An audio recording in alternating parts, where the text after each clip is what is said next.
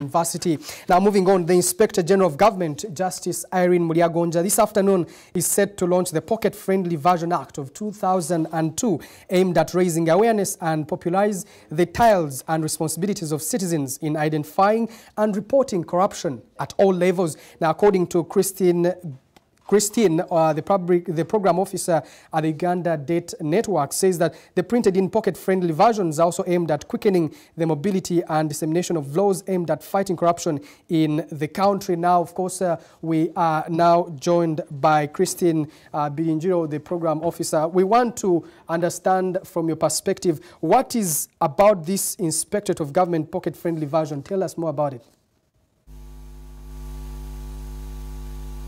uh, decided to partner with the Inspectorate of Government to produce these pocket-friendly versions of the IG Act. And this is uh, specifically parts 3, four, parts 3, 5, and 6. We think it's relevant for our constituents who are the ordinary citizens. Uh, do you think that uh, citizens having these pocket-friendly versions will help in fighting corruption, and to what extent?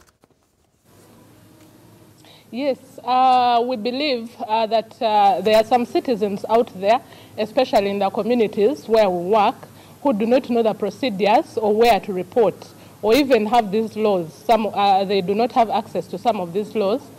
So we, we are going to have these laws shared with these various constituents, especially the ordinary citizens, to guide them on the processes. When they have identified some corruption incidences, how then are they going to, to report this to the IG?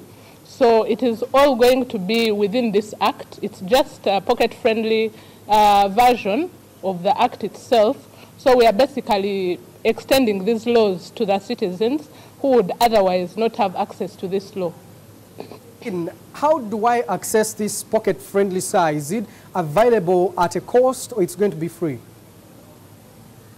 Oh no, because uh, this is going to be free because we know most of uh, these uh, ordinary citizens cannot afford most of them and yet they interface corruption on a daily basis.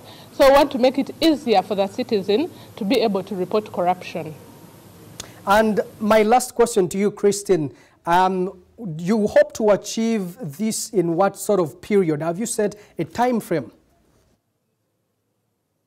Well, it is continuous. For now, we believe uh, we will have results from now when we begin, uh, when we launch.